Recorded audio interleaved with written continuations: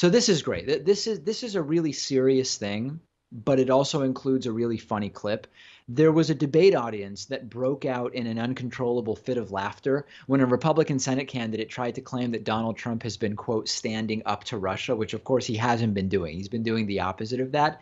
I'm going to play the clip for you. And this is part of the sort of Orwellian newspeak where they have straight up started to say the opposite of what is going on. And this is now leaking over to Senate candidates who are Trumpists, including Republican Senate nominee Corey Stewart, who's running in Virginia against incumbent Democratic Senator Tim Kaine. Uh, and Tim Kaine, of course, during the debate, he talked about Russian aggression during the 2016 election, undeniable at this point. He talked about Russian aggression during Barack Obama's presidency, including the invasion of Crimea, downing an aircraft over Ukraine. Here is how Corey Stewart responded, and of course, laughter from both the audience and Tim Kaine in response. He was noticeably silent uh, when the Russians shot down a Malaysian airliner when President Obama was in office. He was noticeably silent when the Russians invaded the Crimea when President Obama was in office. We have a president who is standing up to the Russians. And now, Senator Kaine, now we have now we have Senator Kaine. Now we have Senator Kaine I, I actually think that a straight up uncontrolled fit of laughter is a pretty damn good way to challenge these types of nonsense claims. It's it's actually kind of powerful. Imagine if when candidates say such ridiculous things, instead of trying to fight it point by point when they've thrown out 10 lies in a minute and convince people, which you won't be able to do, right? If the entire room simply starts laughing hysterically at the obvious lies and then you just move on, it starts to take on an air of this childish ignorance from these people is so dumb and so inaccurate that it's actually funny. It doesn't even require a response. And this is not normally my view, right? My view is ad hominems aren't arguments, and you need to take the arguments on at their core. But when the arguments are not even based in fact, and this is something that over the weekend a number of interesting articles were written uh, in the context of Holocaust denial and how Holocaust denial should be managed on online forums because you're fundamentally not going to be able to actually fight it with facts because the people who are committed to Holocaust denial are not going to be influenced by facts. What about just laughing? And if they can say it themselves, right? Something like Trump is tough on Russia without cringing or getting red in the face how are you going to convince them that they're just simply wrong? So maybe you do laugh off the entire thing because it's an utterly condescending way that could actually show that there's a total absence of logic and rationality. Laughter and ridicule as the tactic instead of logic and rationality. And these types of uh, administration officials and candidates they aren't based in logic and they're not based in rationality. So you can't use those tools against them. They care about looking tough and acting tough and imposing their view on others and imposing their inaccurate views on others. So maybe just by laughing at them, you make them look silly and their ideas hopefully go nowhere. Send me your thoughts about the laughter technique. And do you think that it would be effective not in changing their minds? Their minds aren't going to be changed but in exposing the lack of believability about the nonsense that they're spewing to others, to people in the crowd, to people who watch this stuff on TV. Send me your thoughts about that. So, I, have said before, I don't really believe in using this type of language as uh, legitimate political language, but but it sort of is the right language to use here. Trump's been totally cucked by Vladimir Putin. And I know that Pat uh, uh, gets very, very upset when I use that kind of language, and he, he pulls me aside after the show, and we often have to have a conversation that, that embarrasses Max because of how, how crazy it gets. But he's been totally cucked by Putin, who has rejected Trump's invitation to the White House and to Washington, D.C. One of the things that came out of the Helsinki summit, other than the sort of undeniable, obvious confirmation that Trump is a total captive of Vladimir Putin's, is that Trump wants Putin at the White House. They were calling it a sort of second summit, but this time not on neutral ground like Helsinki, uh, but rather on Putin, oh, sorry, Freudian slip, on Trump's turf, Washington, D.C., in the United States. And it wasn't really clear whether this was a good idea or a bad idea until yesterday when Russia announced that they're going to reject the invitation. They're rejecting Trump's offer for a summit, and it is making Trump once again look like the humiliated fool that he is getting played by world leaders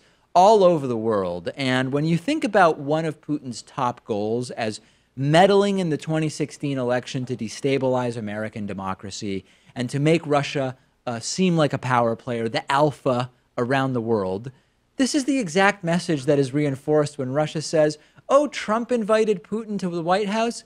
No thanks, this isn't the right time. And for the time being, Russia is saying no. Trump, uh, uh, tr- top Putin Kremlin aide Yuri Ushakov said, quote, after the summit, you know what kind of atmosphere there is around its outcome. I think it would be wise to let the dust settle, and then we can discuss all these questions in a businesslike way, but not now.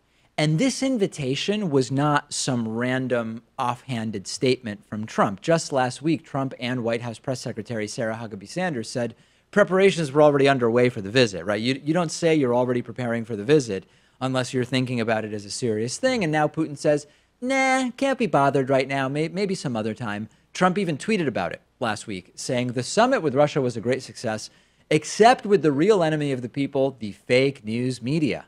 I look forward to our second meeting so that we can start implementing some of the many things discussed, including stopping terrorism, security for Israel, nuclear proliferation, cyber attacks, trade, Ukraine, Middle East peace, North Korea, and more. There are many answers, some easy and some hard to these problems, but they can all be solved.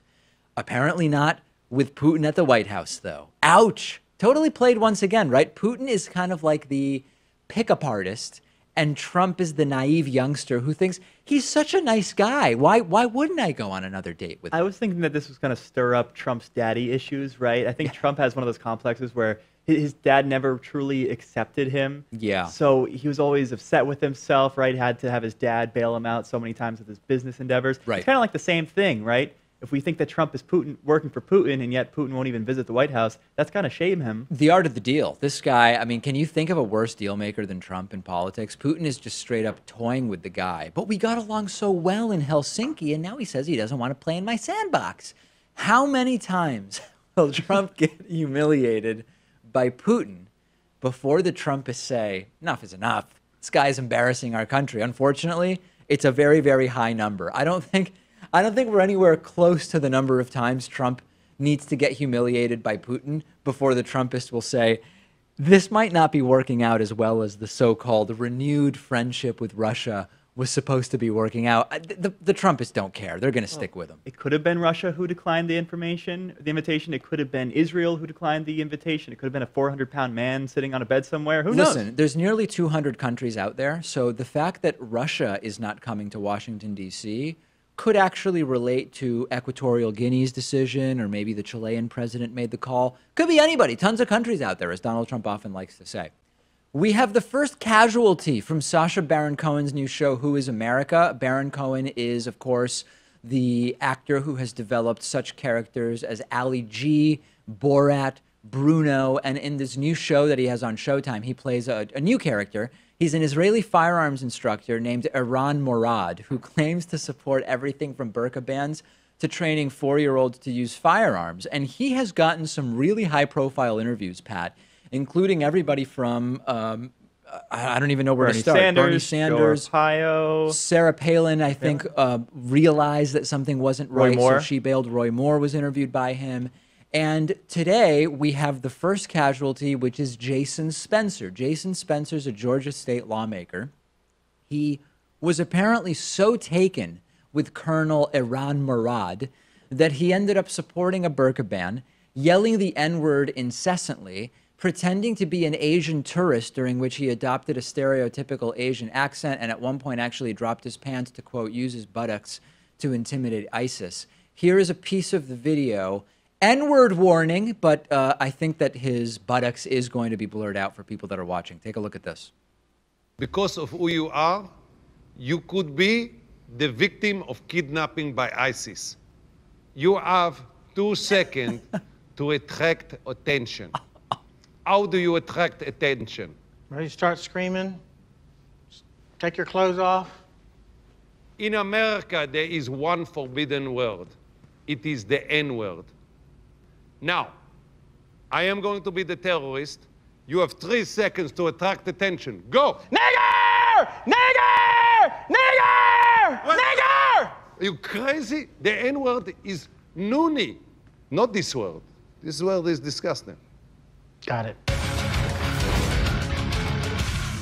ISIS are scared of being seen as homo. You know what it means, ah, homo? Yeah, yeah. If your buttock touch them, it means they have become a. Homosexual. Now I am going to teach you how to use your buttocks to intimidate ISIS. Show me the buttock. No, trousers down. Okay, go. America! Good. One more time, but louder with America. America! Good. We say in the Mossad, I mean, not in the Mossad, if you want to win, you show some skin. Okay. Okay, show it to me. Now, try to touch me. I'll touch you. I'll touch you with my buttocks. I'll touch you. You better drop the gun or I'll touch you. USA! Okay, stop. You have to remind me. If I touch you, you will become a homosexual. Okay. Okay? Now, try to touch me. Go! Ah, ah, ah, Go, go, go, go, go! ah, ah. Go! Go, go. Ah, ah. USA! USA, motherfucker. Okay, yes or no? You show me your weapon. Go. I'll touch you. I'll make you a homosexual. You drop that gun right now. USA! Okay. USA! The most incredible thing is that when you watch this clip, Spencer's behavior is so insane and so outrageous that it's actually hard to believe he's not an actor and that this is all scripted. It's so whack that it seems like Spencer is working for the show, but he wasn't, and he's now resigning after this. He is blaming Sacha Baron Cohen, saying that he was taken advantage of. He put out a statement through the Atlanta Journal Constitution saying that, quote, in posing as an Israeli agent, Cohen pretended to offer self defense exercises. As uncomfortable as I was to participate, I agreed to understanding that these, quote, techniques were meant to help me and others fend off what I believed was an inevitable attack. I deeply regret the language I used at Cohen's request, as well as my participation in the class in general. If I had not been so distracted by my fears, I never would have agreed to participate in the first place. Obviously, the first thing anybody does when they believe that their family may be at risk is you go somewhere and you start yelling the N word out incessantly, like you're having a grand old party. And he's framed himself as just being so scared that he was scared into participating because of fear for his family. Imagine just for a second, okay? Here's what I was thinking about, Pat. If you can get Jason Spencer to say on camera the N word like it's a party and fake an Asian accent, what is he willing to do behind the scenes? And what could a lobbyist get him to do by offering him some money? Yeah, I mean, he was totally exposed here, right? I don't think. I, I think he does genuinely believe these things deep down and would say these things in private. I agree. Normally, you wouldn't do that on camera, but he was duped here, and I think that's the genius of Sacha Baron Cohen. We are better off that Jason Spencer is resigning. Now, a lot of people do have a problem with what Sacha Baron Cohen is doing. They're saying you you are misrepresenting the person that you are, and thus the entire thing is sort of dishonest at its base. I don't know that that's a good. That could be an argument against Sacha Baron Cohen's uh, uh, format, right? That how he does what he does with Ali G, Borat, whoever. But that's not a defense of Jason Spencer because I don't care what costume Sacha Baron Cohen puts on.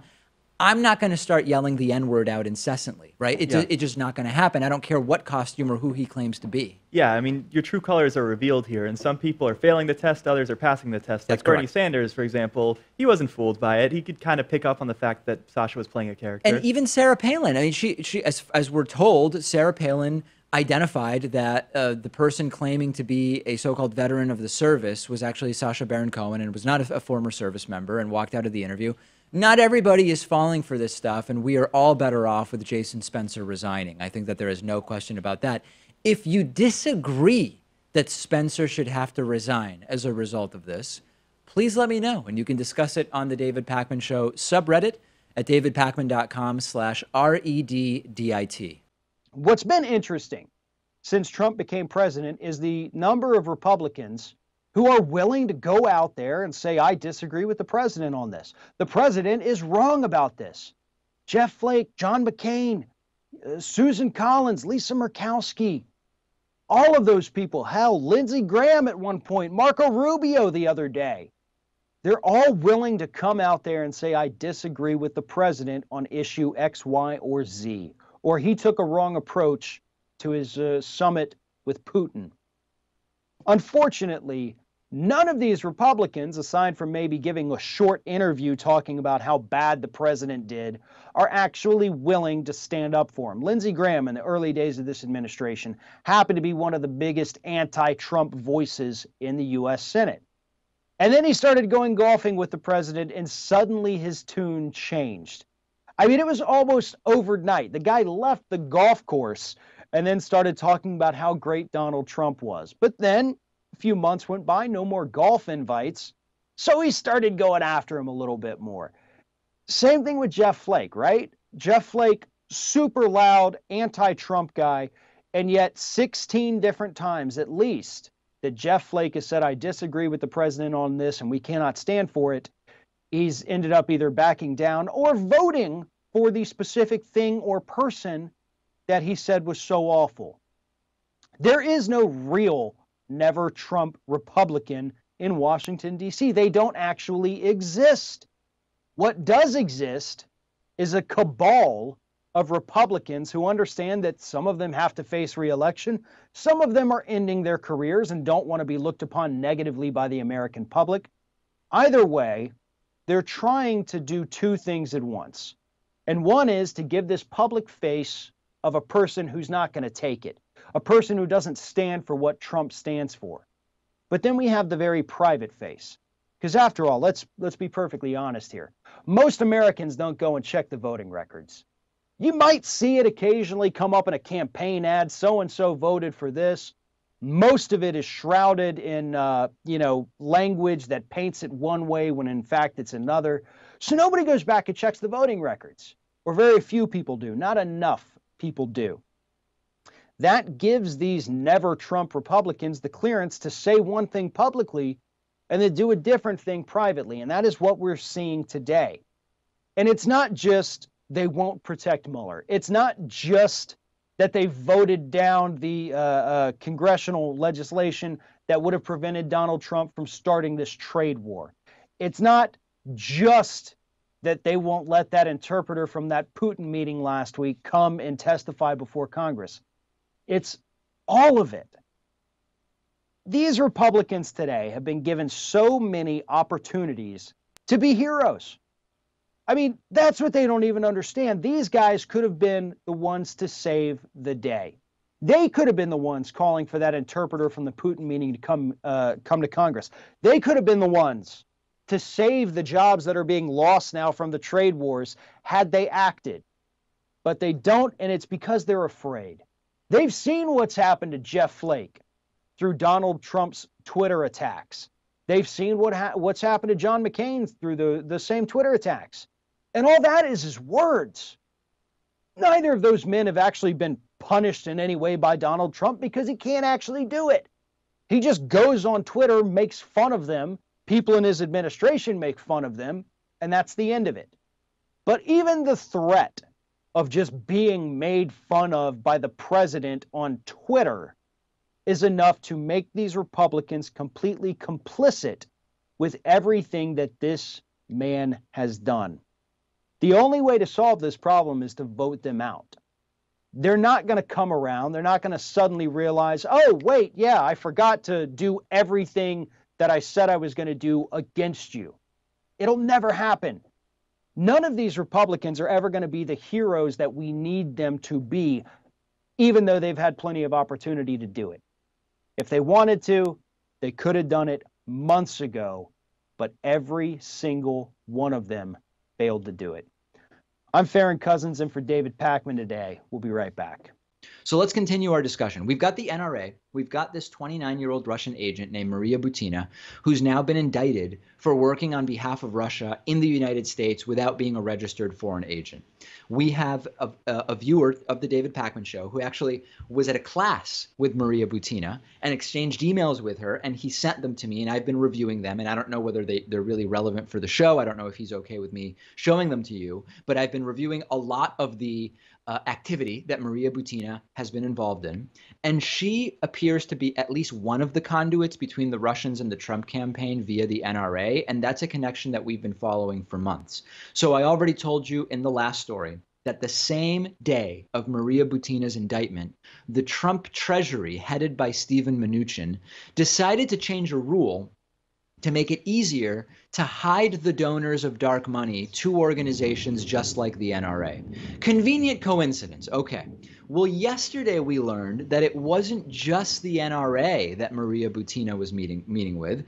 It wasn't just showing up at a Trump event and asking Trump a question about easing Russian sanctions, but Reuters is now reporting that Maria Butina also met with two senior officials at the United States Federal Reserve and the Treasury Department, along with other visiting Russian officials. I'm not saying these things are related, but this stinks really, really badly. And it now also pulls in specifically Alexander Torshin, who happens to be the exact Russian rich dude who's already suspected of being a funder of Trump's campaign via the NRA.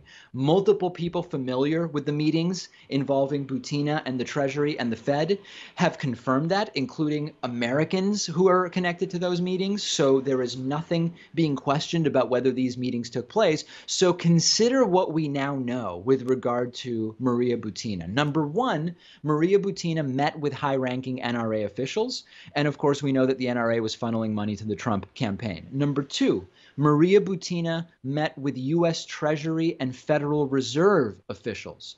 Number three, the Treasury relaxed reporting requirements of NRA donor information within 48 hours of Maria Butina's arrest. And number four, Butina worked for NRA tied, Putin connected Russian Alexander Torshin. I also increasingly don't understand how a 20 something year old Russian gets meeting after meeting with NRA higher up, Treasury higher up, Federal Reserve higher up, and nobody seems to raise an eyebrow. And the broader picture here is twofold. Number one, we now realize that Russia deployed the full spectrum of infiltration techniques. You have Russians teasing Trump campaign officials and Trump's own family, including Donald Trump Jr. and Kushner, with dirt on Hillary, and it got them meetings at Trump Tower. You have the messing with the voting systems by Russia in something like 20 or more states and actually accessing the voting systems in at least one state, uh, as far as the latest reports indicate. You have infiltration of traditionally right wing organizations like the NRA and the use of those organizations as conduits to both the Republican Party's easing of their position on Russia and to the Trump campaign itself. And then lastly, and some people don't like this, we don't know to what extent Maria Butina may have used sex to obtain even more than we know about, right? So like it's not uh, uh, uh it, it's not sexist to say that Maria Butina may have used sex in order to develop some of the uh, connections that she did. It, it's just a widely used tactic by Russia and other intelligence services, and it's one of the reasons why um, a, a, woman operating in a world that is disproportionately uh, men granting access, it wouldn't be shocking to think that that may be why this 20 something woman with no real credentials to speak of was able to get this level of access. And it's it's not sexist and in fact I don't even know if we need to call it infiltration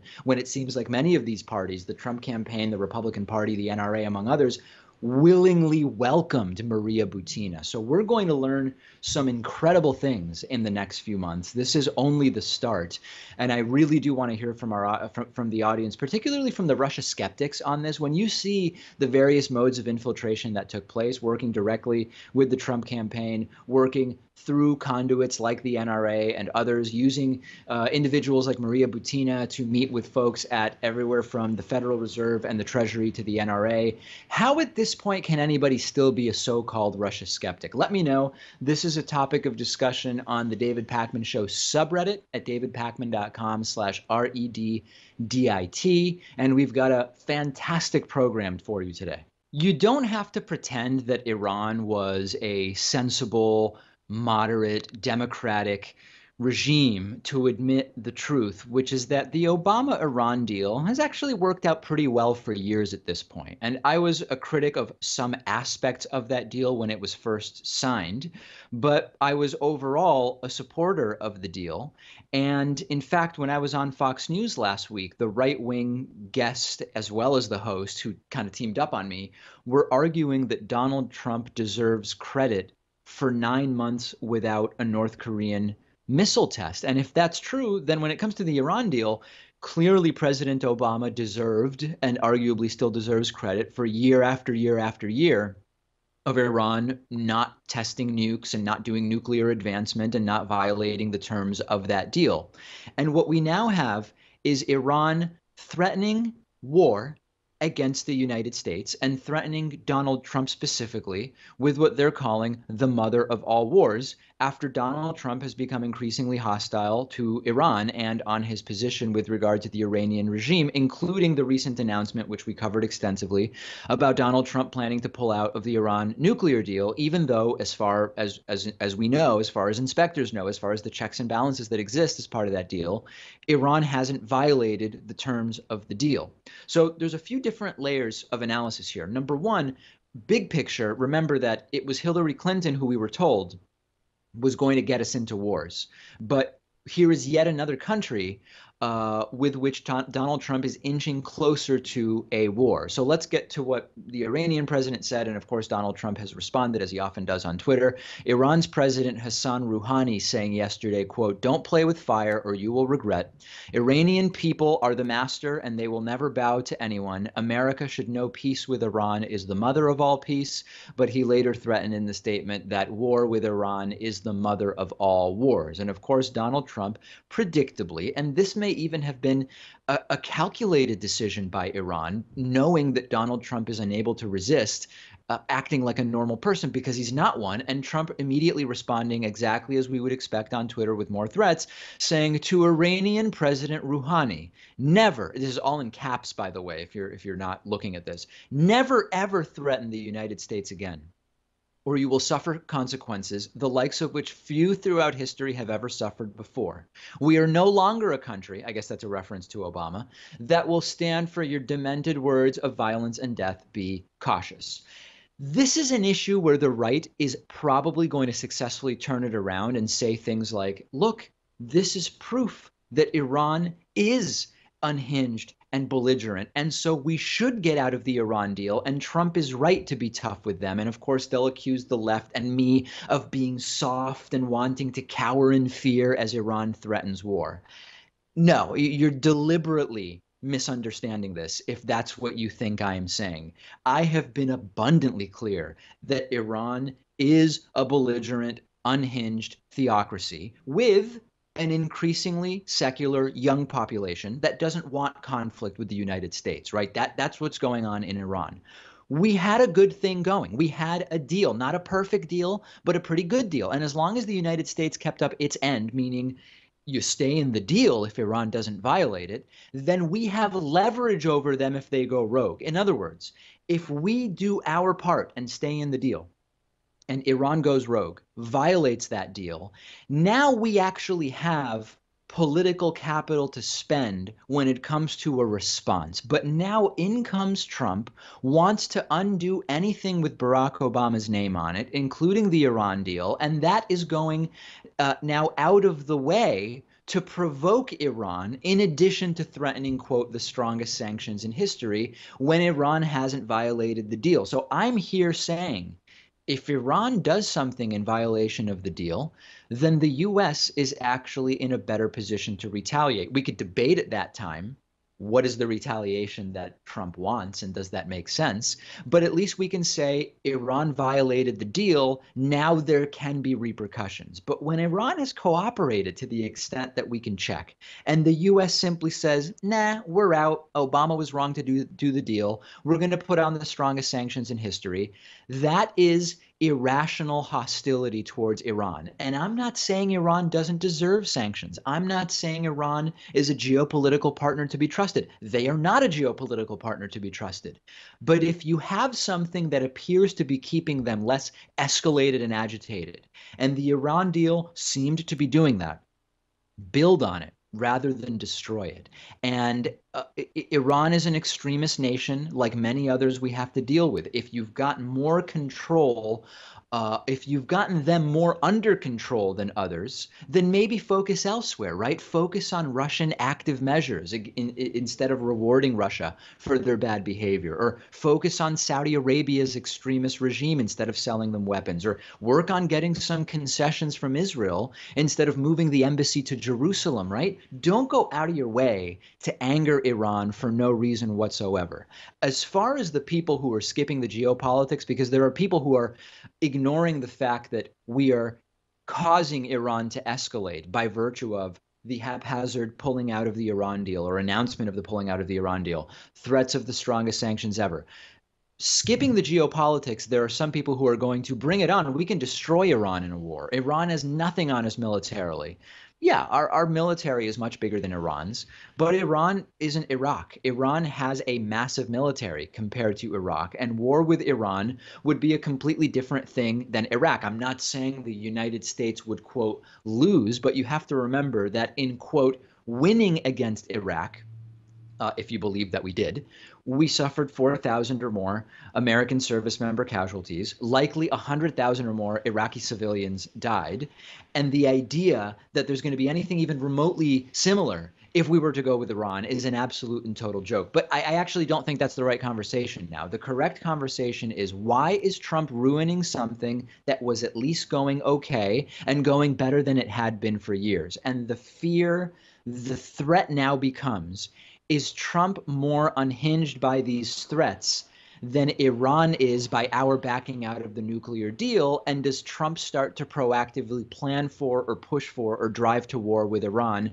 And if he is, who's going to stop him? We know he wanted to go to war with Venezuela and he was talked out of it. We know that he was starting to get belligerent about military action against North Korea. Unfortunately, that hasn't happened. I don't know if we can count on Chief of Staff John Kelly because he's increasingly at odds with Trump. Stephen Miller is not going to talk Trump out of a war with Iran. Is John Bolton going to talk Trump out of a war with Iran? This is why we have to be extraordinarily concerned. And remember, supposedly, it was Hillary who was going to get us into multiple wars. It's Trump who's been pushing for multiple wars behind the scenes. I have been telling you about the Orwellian newspeak that has been scaling up from Trump and the administration lately. They're making claims that aren't just inaccurate, but the are they're the exact opposite of reality in many cases. And I've said it before and I'll say it again.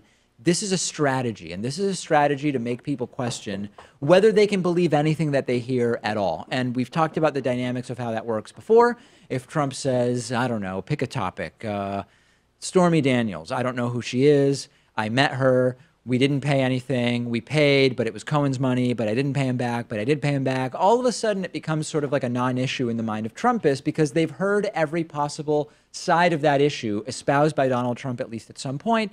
They don't know what to believe. They'll go back to seeing the Red Sox Yankee game instead and then not worry anymore about what actually is the truth about Stormy Daniels.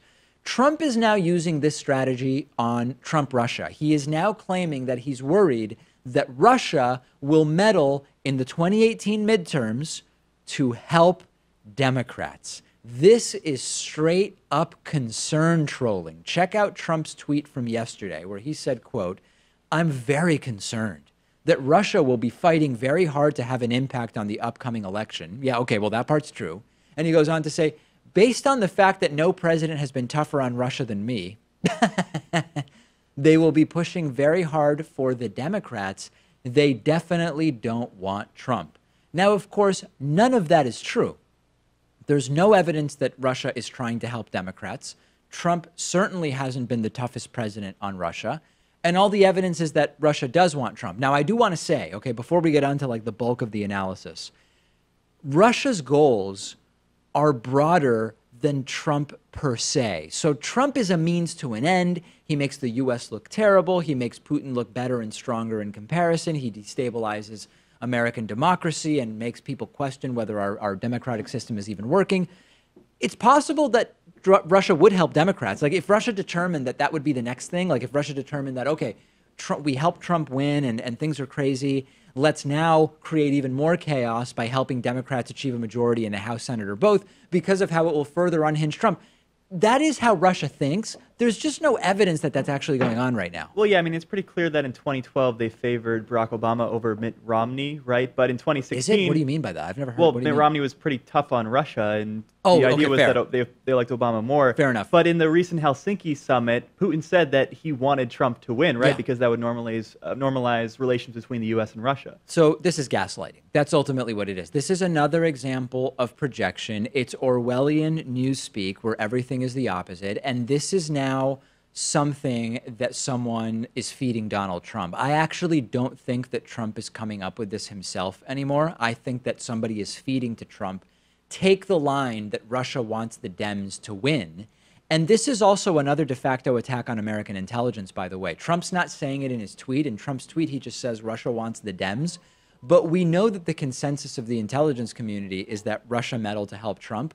When Trump says the opposite, when Trump says, I've been super tough on Russia and Russia wants the Dems, that's sort of a de facto way of Trump saying he doesn't believe the intelligence community. And this is monstrous, dangerous gaslighting.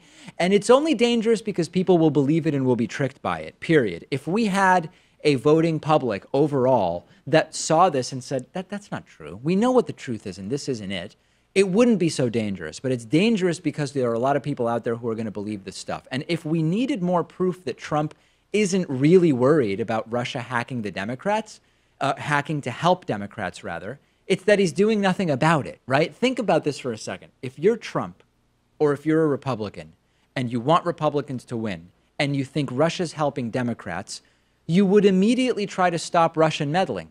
Trump hasn't tried to stop Russian meddling. And in fact, he said just last week how strong and tough Putin was in his denials that meddling even took place. And additionally, Republicans just blocked a bid to uh, a bill, rather, to extend election security grants. If you run the House and Senate and you think Russia's helping the Democrats, why would you block funding for election security? You would say, hey, we need to stop it because Russia wants the Dems. None of them believe that that's what's going on. Or those additional sanctioned over, sanctions overwhelmingly uh, passed by Congress that Trump for the longest time refused to implement. They would That's say implement sign them. too. Implement them. it's not insane to say we can imagine why Russia might want Democrats to win over Republicans. We could we could imagine that circumstance, but there's no evidence that that's going on.